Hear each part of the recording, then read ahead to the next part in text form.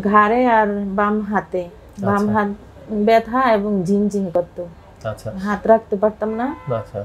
আর পিঠেও অনেক ব্যথা ছিল। আচ্ছা তো যখন আপনি স্যারের কাছে আসেন প্রথম স্যার এবং আপনাকে দেখেন দেখার পরে স্যার কি বলেছিলেন আপনাকে? পরে স্যার দিল থেরাপি দিল আবার ভর্তি থাকার কথা বলেন ভর্তি- হ্যাঁ, আপনাকে। ভর্তির কথা বলছে একুশ দিন। আচ্ছা তো সেই অনুযায়ী আপনি ভর্তি হয়ে যান স্যারের আন্ডারে তো কতদিন ভর্তি ছিলেন স্যারের কাছে? পাঁচ দিন। পাঁচ দিন।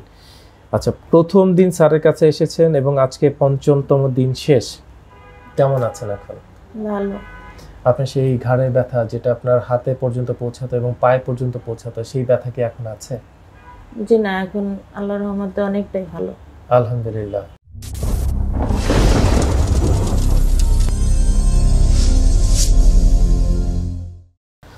আসসালামু আলাইকুম। দর্শক আশা করি সবাই ভালো আছেন এবং সুস্থ আছেন। মেডিকেল বিডিতে আপনাদেরকে আবারও স্বাগতম। দর্শক, আজকে আমাদের সাথে একজন মা আছেন। প্রায় দুই হাজার এগারো সাল, সেই সময় থেকে ঘাড়ে ব্যথা। এবং একটা সময় সেই ঘাড়ে ব্যথাটা হাতের দিকে ট্রান্সফার হয়েছিল এবং পরবর্তীতে সেই ব্যথাটা পা পর্যন্ত পৌঁছে গিয়েছিল। যদিও দীর্ঘ একটা সময়, প্রায় দশ বছরের সেই যাত্রা। বিভিন্ন সময় বিভিন্ন ধরনের ট্রিটমেন্টও নিয়েছেন। কখনো ভালো থেকেছেন আবার কখনো খুবই খারাপ থেকেছেন। এরই মাঝে যুদ্ধ করতে করতে একটা সময় উনি যে সঠিক যে চিকিৎসা সেটার সন্ধান পেয়েছেন এবং ভালো আছেন সুস্থ আছেন এবং এই বিষয়টাই উনি আজকে এসেছেন আপনাদের সাথে শেয়ার করার জন্য। আসুন দর্শক বেশি কথা না বলে আমাদের আজকের অতিথির সাথে আমরা একটু কথা বলি এবং পরিচিত হয়ে নিই। আসসালামু আলাইকুম। মা আপনার নামটা যদি একটু বলেন আমাদেরকে। আমার নাম শামিমা নাসরিন। বাসা কোথায় আপনার? বাসা দেশের বাড়ি শরীয়তপুর এখানে আর কি ওই যে মোহাম্মদপুরে ভাইয়ের বাসা। মোহাম্মদপুরে থাকেন এখানে মূলত। আচ্ছা আমাদের দর্শকদের জন্য যদি একটু বলতেন যে আপনি যেটা বলেছেন যে গত দশ বছর আগে থেকে সমস্যা কি হয়েছিল? কোথায় ব্যথা ছিল আপনার? ঘাড়ে আর বাম হাতে। বাম আচ্ছা। হাত ব্যথা এবং ঝিনঝিন করতো। আচ্ছা। হাত রাখতে পারতাম না। আচ্ছা। আর পিঠেও অনেক ব্যথা ছিল। দুই আগে তো এই ব্যথাগুলো ছিল না। সুস্থ ছিলেন স্বাভাবিক সব কাজই করতেন। হ্যাঁ। বাট হঠাৎ করে দেখছেন যে ব্যথা হ্যাঁ, কোনো অ্যাক্সিডেন্ট বা কিছু হয়েছিল কি? না না আমার জানা মধ্যে এরকম কিছু হয় নাই। হঠাৎ করে একদিন দেখছেন যে একটু করে ব্যথা। এমনি গাছ থেকে পড়ে গেছিলাম এটাই আর কি আছে আচ্ছা মানে রেকর্ডে শুধু একটাই হিস্ট্রি আছে আপনি গাছ থেকে পড়ে গেছিলেন ছোটবেলায়। আচ্ছা তখন কি এই- ধরনের কোনো সমস্যা দেখা দিয়েছিল? নাকি তখন কয়েকদিন ব্যথা থেকে তারপর ঠিক হয়ে তখন গেছিল সাথে কিছুক্ষণ পরেই স্বাভাবিক সুস্থ হয়ে গেছিল আচ্ছা তো যখন প্রথম ব্যথা শুরু হয় ঘাড়ে ব্যথা শুরু হয় তখন প্রাথমিকভাবে কোনো ডক্টর বা কিছু দেখিয়েছিলেন? নাকি ডিসপেন্সারি থেকে ওষুধ এনে খেয়েছিলেন তখন? ডিসপেন্সারি থেকে ওষুধ খাওয়াইছে তারপরে শরীয়তপুরও নিছে তারপরে মাদারীপুরও নিছে তারপরে ঢাকায় আনছে। আচ্ছা এত জায়গায় কেন? মানে ওষুধ খাচ্ছেন তখন কি ব্যথা কমে না। ব্যথা কমে না। আচ্ছা প্রাথমিকভাবে যে ডক্টর দেখেছিলেন উনি কি কোনো পরীক্ষা নিরীক্ষা করেছিলেন আপনার? এক্স রে করছে। আচ্ছা এক্স রেতে কি ধরা পড়েছিল? এক্স রেতে কোনো কিছুই আসে নাই।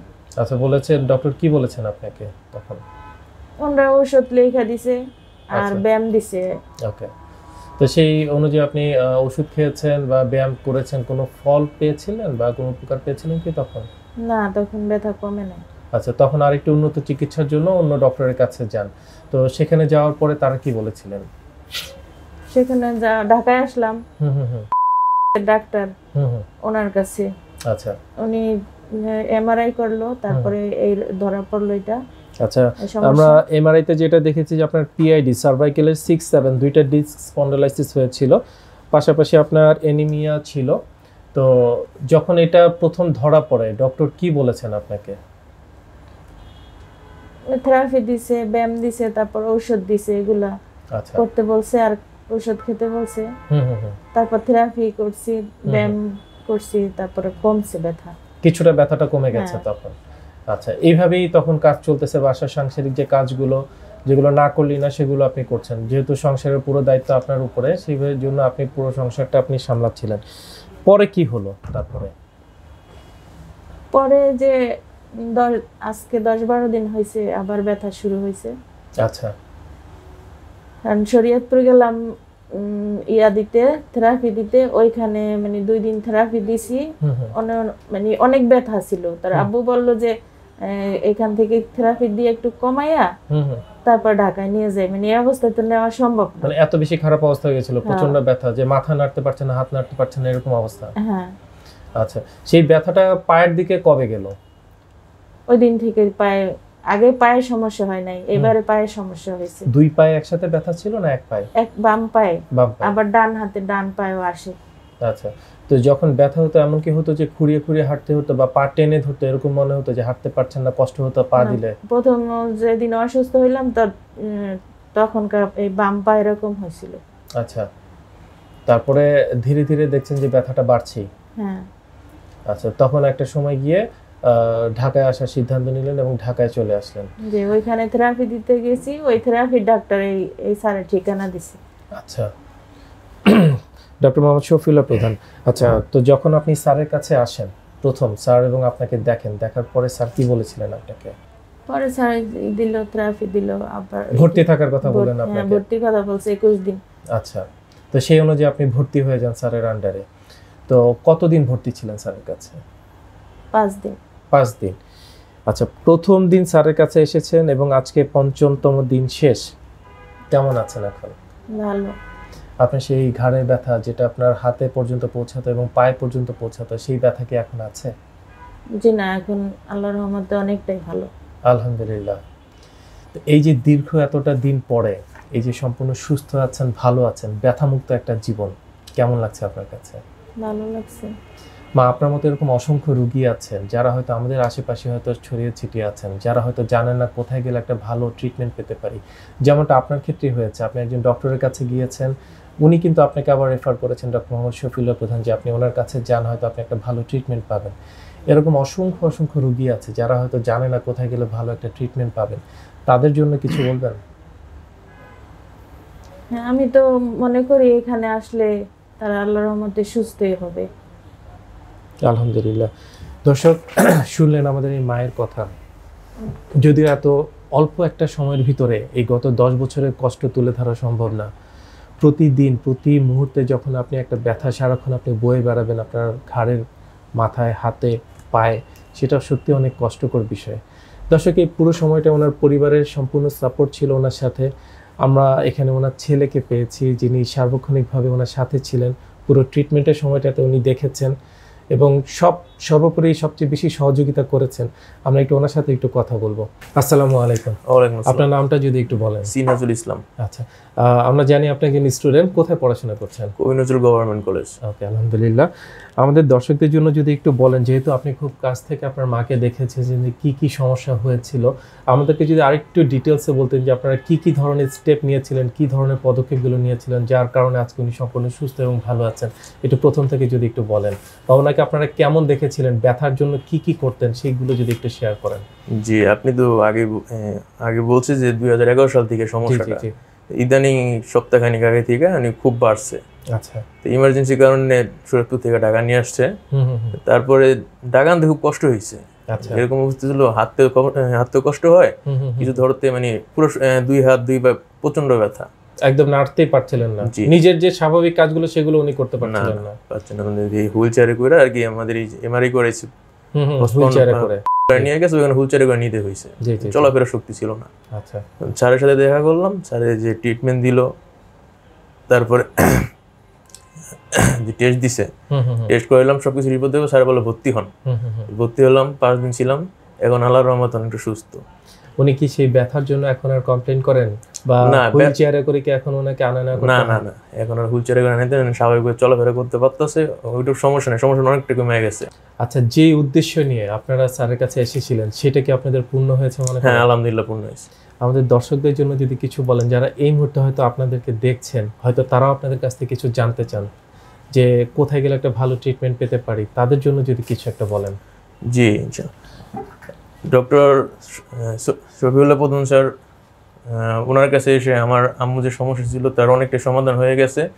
আর যে ট্রিটমেন্ট দিছে একুশ দিন পর্যন্ত, ইনশাল্লাহ আশা করি যে সম্পূর্ণ ট্রিটমেন্ট করার পরে পুরোপুরিভাবে সুস্থ হতে পারবে। আপনাদের যদি কারও এই ধরনের সমস্যা থাকে, অবশ্যই তার সাথে যোগাযোগ করতে পারেন। ইনশাল্লাহ একটা ভালো একটা চিকিৎসা পাবেন আশা করি। আলহামদুলিল্লাহ। দর্শক আমাদের এই মা, হয়তো স্যার ওনাকে বলেছিলেন কম বেশি প্রায় একুশ দিনের কথা, বাট উনি কিন্তু পাঁচ দিনই মোটামুটি সম্পূর্ণ সুস্থ এবং ভালো হয়ে গেছেন এবং ওনার সেই ঘাড়ে ব্যথা বা হাতে ব্যথার যে কমপ্লেন যেই ওনাকে হুইল চেয়ারে করে নিয়ে আসা হয়েছিল, এখন ওনার হুইল চেয়ার দরকার হয় না। উনি নিজের পায়ে হাঁটাচলা করছেন, নিজের হাতে নিজের কাজগুলো উনি করতে পারছেন এবং সুস্থ, স্বাভাবিক আছেন এবং ব্যথামুক্ত একটি জীবন। সবচেয়ে বড় কথা হচ্ছে ব্যথামুক্ত একটি জীবন এবং নিজের কাজগুলো নিজে করতে পারা। এর থেকে বড় প্রাপ্তি আসলে কি হতে পারে?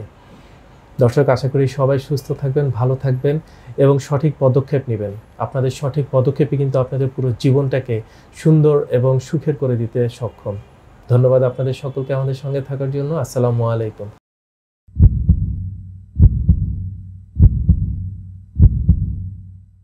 দীর্ঘজীবী হওয়ার প্রথম পদক্ষেপই হচ্ছে সুস্বাস্থ্য নিশ্চিত করা।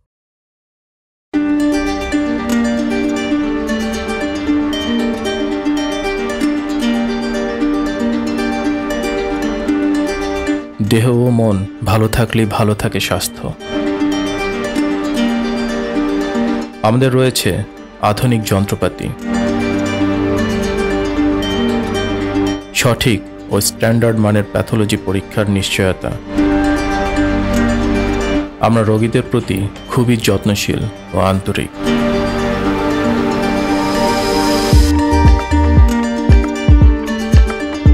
আমরা সর্বপ্রথম প্রতিটি রোগীর সঠিক রোগ নির্ণয় করি, এরপর রোগ অনুযায়ী অপারেশনবিহীন চিকিৎসা দিয়ে থাকি।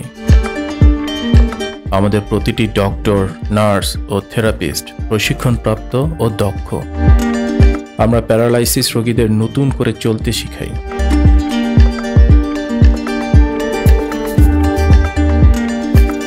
আমরা আপনাকে সর্বোচ্চ মানসম্মত আধুনিক চিকিৎসা সেবা প্রদানের নিশ্চয়তা দিচ্ছি। আমরা বিশ্বাস করি আপনি এখানে আপনার নিজ পরিবারের মতোই সেবা পাবেন।